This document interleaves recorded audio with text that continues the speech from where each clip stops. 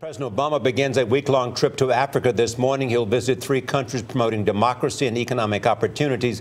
Bill Plante is at the White House. Bill, good morning. Charlie, good morning. The Africans expected a lot more from America's first black, black president, so he's kind of playing catch up. First stop tonight is Dakar, Senegal, from which four centuries ago millions of Americans were shipped off to be slaves in the new, or Africans rather, shipped off to be slaves in the New World. Then to South Africa, Johannesburg, and Cape Town, where his trip is overshadowed by the vigil for Nelson Mandela. The aim of the trip is to convince the continent that the U.S. cares, that it wants trade with Africa, and as always, to promote democracy. On the trade front, China has taken the lead in Africa, outpacing the U.S. for the past four years.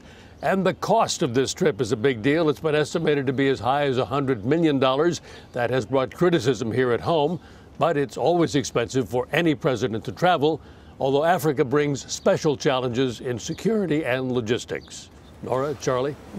Uh, it, the interesting question, Bill, for me is whether the president will make every effort to get to see uh, Nelson Mandela as sick as he is. Yeah, I wouldn't count on it, Charlie, because he is so ill and he has seen him before but they say that they will defer to the wishes of the family. Uh, Thanks. Bill Plante, thank you.